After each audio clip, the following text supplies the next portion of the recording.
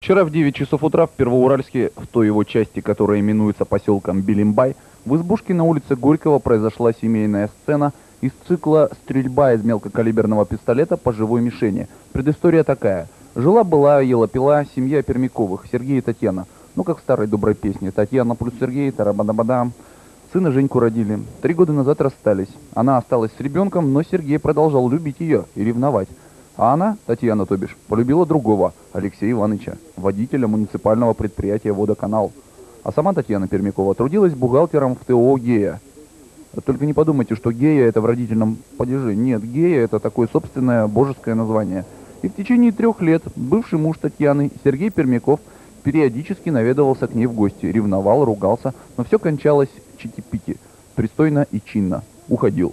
Вчера в отношениях бывших супругов приключился апогей – в 9 часов утра, светлого пасхального утра, 40-летний Сергей Пермяков, пьяный в хлам, в очередной раз заявился в дом бывшей жены. Достал самодеятельный револьвер, купленный на рынке и адаптированный под мелкокалиберный патрон, и устроил стрельбище. Две пули ушли в тело 40-летней Татьяны, третья в ее нового гражданского мужа, 40-летнего Алексея Ивановича. Благо все живы.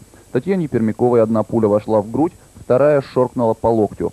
Алексею Ивановичу пуля царапнула правое предплечье. Далее произошла очень человеческая сцена. Раненая Татьяна Пермякова упала перед стрелком на колени и запричитала «Что ж ты делаешь, Сереженька, отдай пистолет!» Пьяный Сергей Пермяков растрогался, отдал револьвер. Их совместный 12-летний сын Женя побежал к соседям, обо всем рассказал. Те вызвали скорую и милицию, а пока раненые ждали медицинскую помощь, кирной стрелок Пермяков выпрашивал у экс-жены пистолет, приговаривая – «Татьяна, дай револьвер, я застрелюсь». Вскоре нагрянули органы 02 и 03, а раненых в больницу стрелка Сергея Пермякова ВВС. Ему вменяется статья 111, часть 1, от 2 до 8 лет неволи. Что же касается его бывшей супруги Татьяны, то она пребывает в отделении травматологии первой Первоуральской горбольницы и в состоянии близком к средней тяжести. Говорить может, жить будет. Узнали ли вы историю Лопы де Вега? Очень похоже. Да ничего сказала, если не со мной, значит ни с кем. Все, все банально.